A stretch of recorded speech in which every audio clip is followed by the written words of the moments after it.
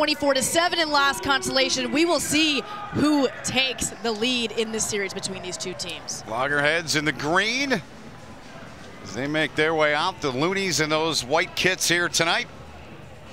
So we'll end up playing 11 matches here this weekend. The one, the third place game on the women's side wiped out. And for the Loggerheads right at the top, Patrick Madden's been good both weekends. Anybody else that really has grabbed your eyes here this weekend? I mean, look, all the eyes got to be on Derek Adams, especially after that hat trick performance last game. And of course, Matai Leuta is such a physical presence. Those guys are the ones to watch. On the other side, who who are you keeping your eyes on? Who should the fans keep their eyes on? I think throughout today, you've had really good performances from Marcus Tupola, of course, the captain, and Manate Akwe, Akwe, excuse me. He played. He represented Kenya Sevens first in 2017, and then Kenya 15s in 2019. He's been a star for them. All right, so the stage is set. Madden will boot it away here to begin the match. Experts and the headliners will meet in the final. This the third place game here in series stop number two. The PR sevens underway and the Loonies with possession. High tackle. Let go. The verdict there. Referee, the third member of our crew, basically wearing the wireless mic. Great dummy there from Coy, who's been really good here in the last two weekends. So too is this guy with the ball. Gets it into the hands there of Akwe. Stripped. Stripped by Green. Play on. Backwards. Stripped and then booted and right into the hands of Madden. Now, here goes Adams. Adams trying to get outside. Good job to knock it free.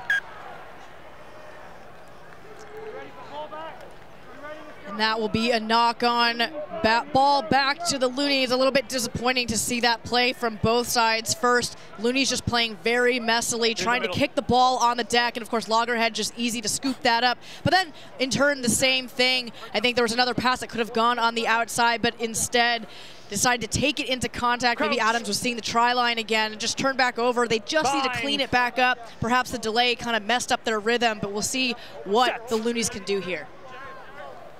They've got the scrum here. In and quickly out. Inside ball there. Release him.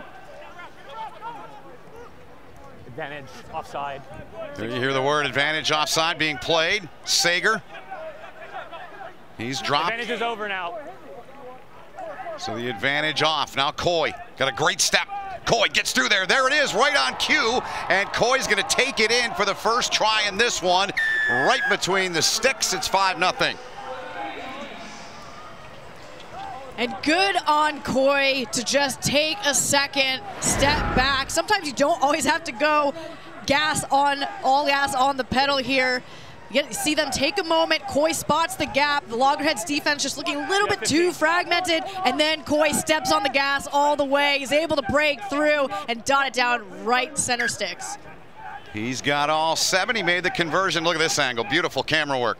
Great camera work. And again, just taking it and sitting back because the Loggerheads defense looked a little bit confused. I think someone uh, who was counter-rucking earlier maybe thought he had a different call. And so anytime you're, one of your teammates in the defense decides to sit back and make a little mistake for whatever reason, that's when you want to capitalize, and that's exactly what the Loonies just did. I really like this young player. He's 19. I mean, he was impressive last week, and he's found the try zone here this weekend.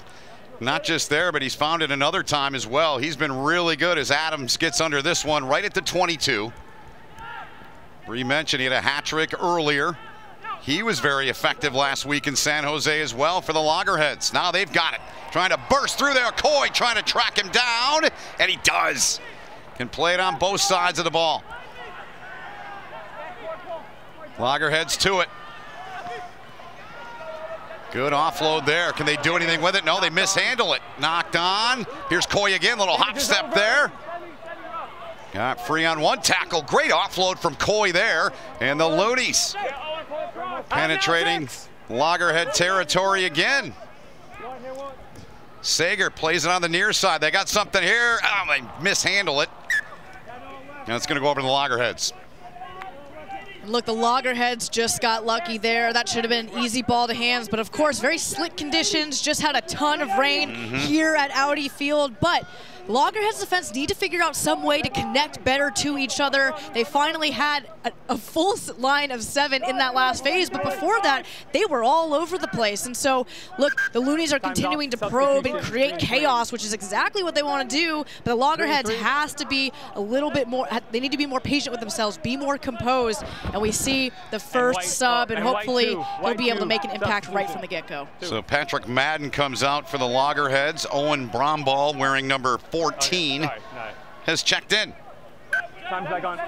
Loonies with two turnovers, Loggerheads with one to this point of the match. You imagine they want to use threat Matai Leuta there in the center. If they get clean ball off the scrum, use Leuta to get a really physical presence and make the game line, but turnover in And the straight out the scrum. tunnel.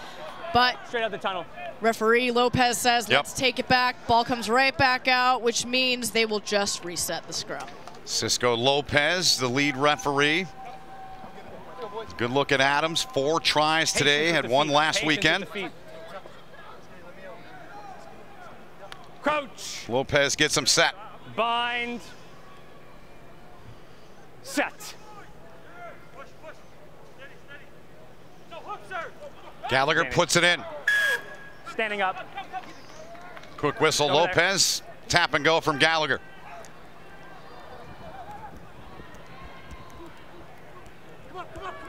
Coming up on the final two here in this first half. Seven minutes. It goes in a hurry. Loggerheads pop one up near side. Chase for it. It's in play. Did they keep it? He didn't. Adams tried, but he just could not keep it in the playing surface before he touched the white line.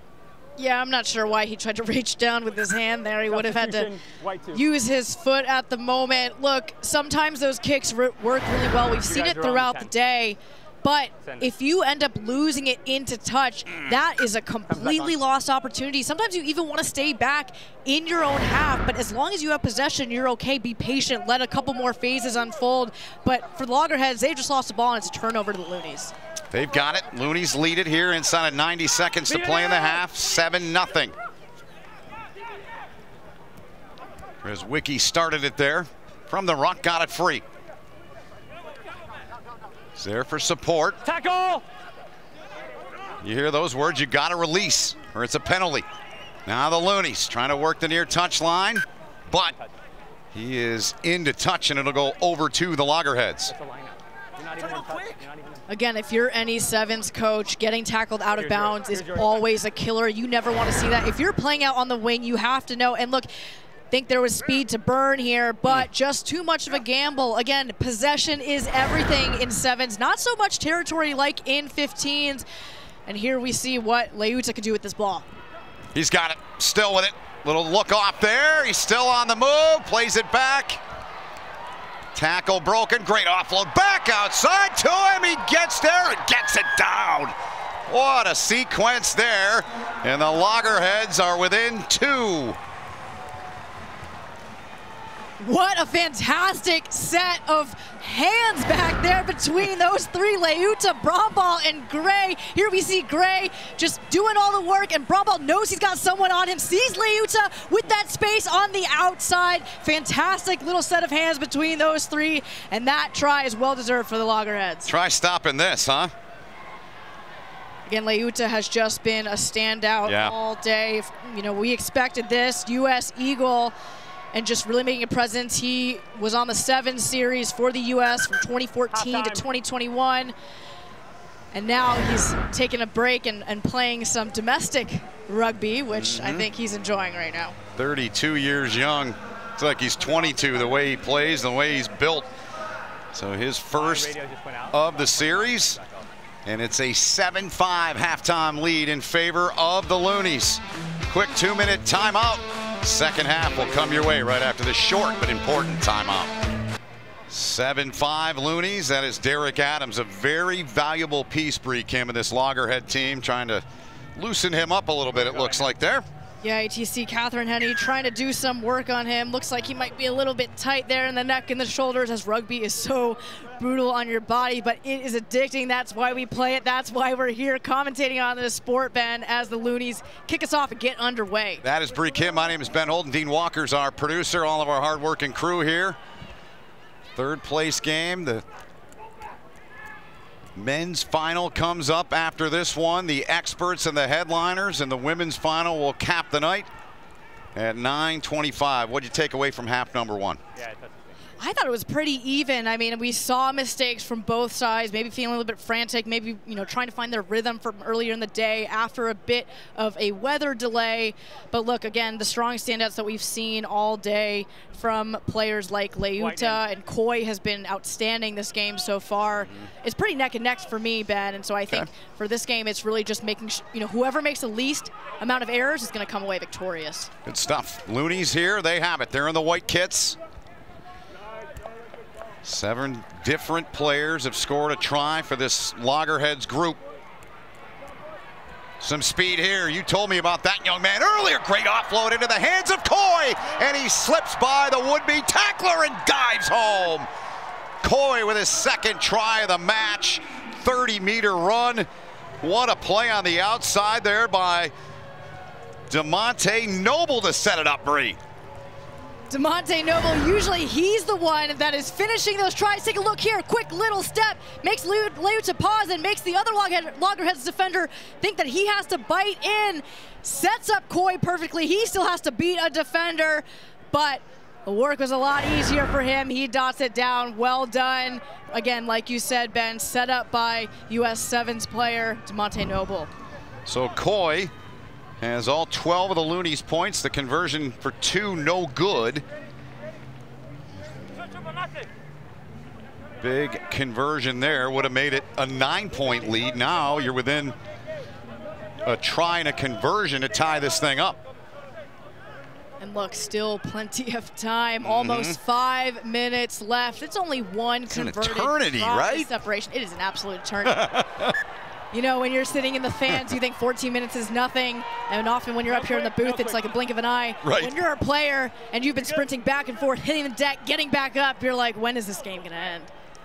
Referee tonight for this one, Cisco Lopez there getting him set, showing him where he wants him to be here for this line out for the Loonies coming up. You can come in. You can come in green. You can come in green. You can come in. Oh yeah. It's one of the many things, Bree, you know we've worked together elsewhere. I love about this sport, the respect on both sides. Players, officials, it's fantastic. You don't see it in any other sport like this. Yeah, there's really an unspoken kind of respect throughout the world when it comes to rugby. Understanding that even though you are essentially beating each other up on the pitch, Yep. you know, as soon as that final whistle blows, it's all respect. Noble spins it to the back. Breaking free, breaking through, and the Looney's going to take in another one. Down it goes. Talapusi put it down, takes it in from 28 meters. And Talapusi looks a little bit a little bit surprised. He made it all the way through, just slipping and sliding through the Loggerheads defense, taking advantage of a half gap. Again, Noble involved in the beginning of that play and just seconds. keeping the ball moving. Loggerheads looking a little bit too complacent on defense, not wanting to make that tackle upright and up front.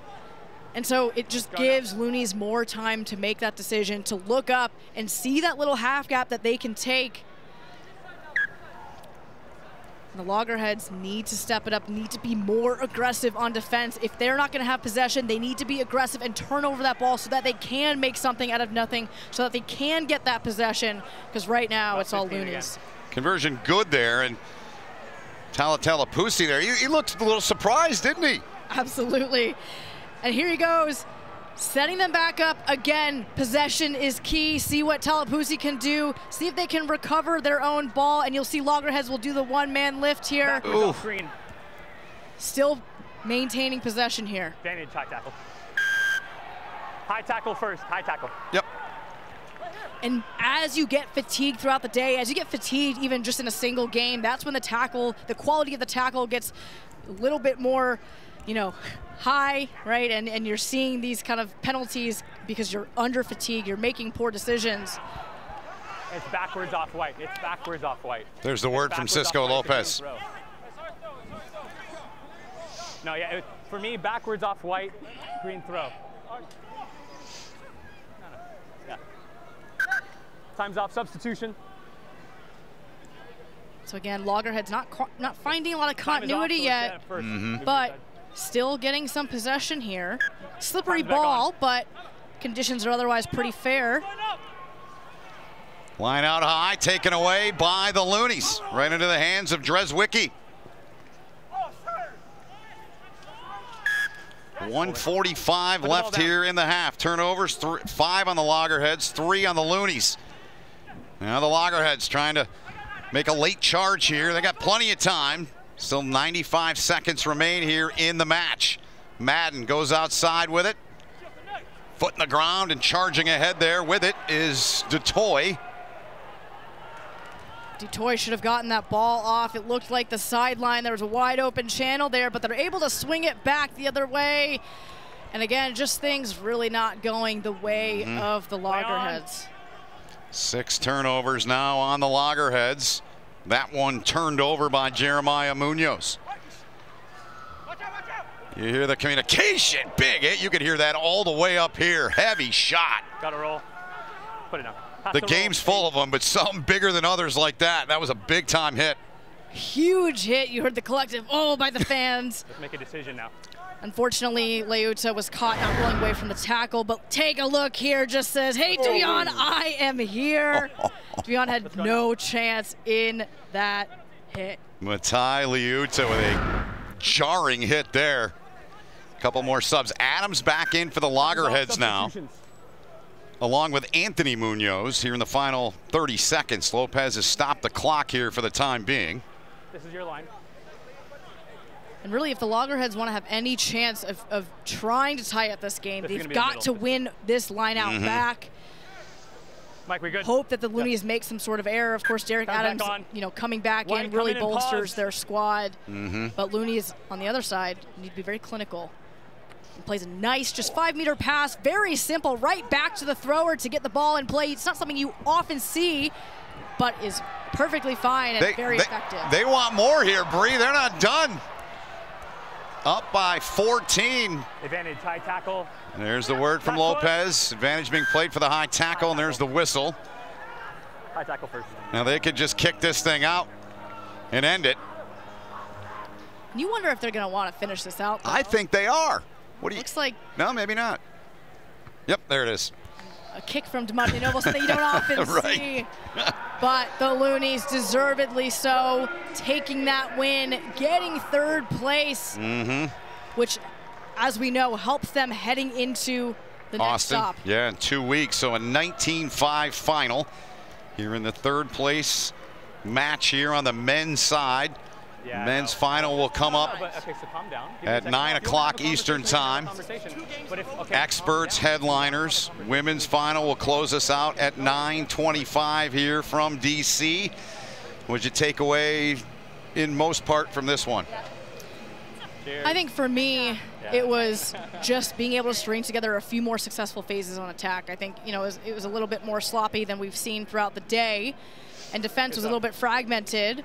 But when we saw you know those tries from the Loggerheads, they were able to go back and forth. You know, we saw the Leuta Bromball Gray try. Right, Yep. it's just being able to be a little have that chemistry and kind of build through. But look, the Loonies dominant. I think they had a lot more confidence. I was speaking with Aki Raymond this morning, and, you, and he had specifically commented on this head-to-head, mm-hmm. and he said, "Look, we didn't start out the way we wanted to back in San Jose, but we came back and brought it to them, and I think they just felt a little bit more confident heading into this match." They did. So that'll put a bow on this one. We'll take a timeout here from Audi Field. PR7s, two matches remaining. And they're both championship matches. More to come after this.